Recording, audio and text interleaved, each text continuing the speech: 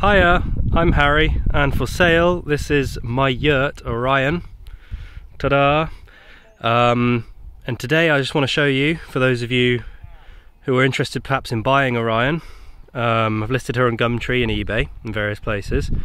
I'm based here in Kent, working on an organic farm, as you can see behind me.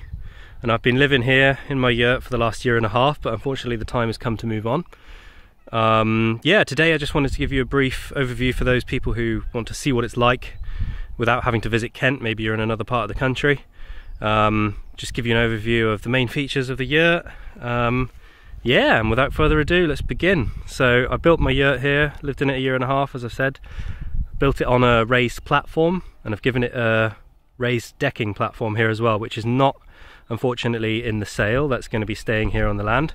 But the rest is the platform, the round platform the yurt comes on is for sale, as well as its floor. And the stove and all other key features I'm just about to show you. Um, it's 18 foot diameter, which is about 28 square meters of floor space. Um, so this is what it looks like inside. As you can see, I've cleaned it. um, this is the toono, or the sky lid. Um, covered by a PVC cap, which lets enough daylight in, even when it's quite dark, to make the yurt itself a very bright space to live.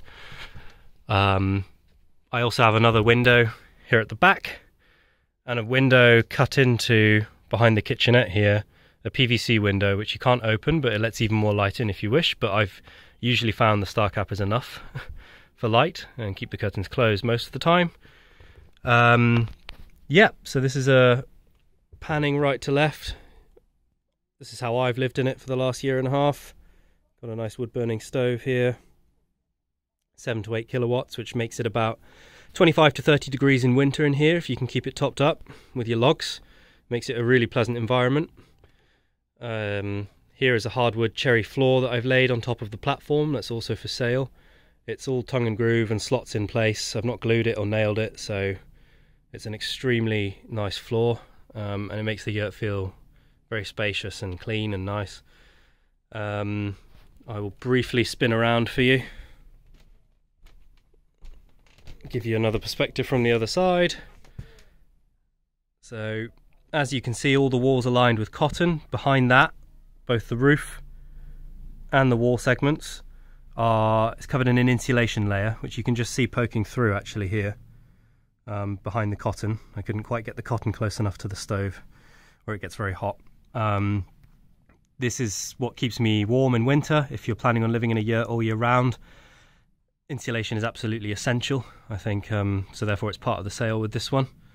Um, it's very quite difficult to make. I custom made it all for myself, so um, yeah, it makes the yurt feel lighter as well with the cotton.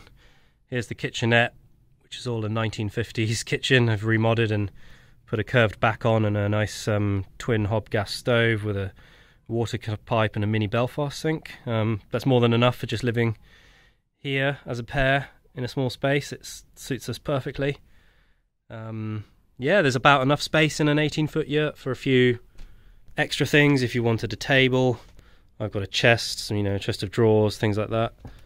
Um, I'll show you the window.